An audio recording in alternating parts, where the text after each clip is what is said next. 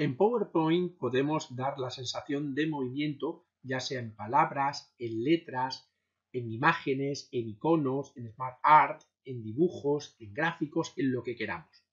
Para ello, únicamente tenemos que copiar la imagen que queremos dar la sensación, la imagen no la diapositiva que queremos dar la sensación, la pegamos justo debajo y en la diapositiva de debajo vamos a transiciones y ponemos transformación.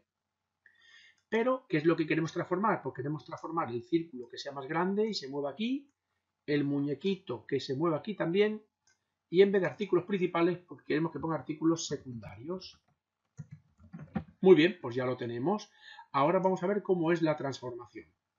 Hemos puesto transformación aquí y vamos a ver cómo es la transformación que hay de tres tipos. La transformación de objetos, de caracteres y de palabras. Vamos a ver primero de objetos. ¿Qué pasaría?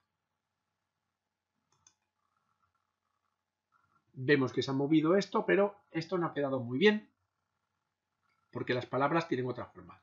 Vamos a ver qué pasaría con palabras. Esta palabra se ha quedado fija y está movida, y se ha movido lo que es el, circulito.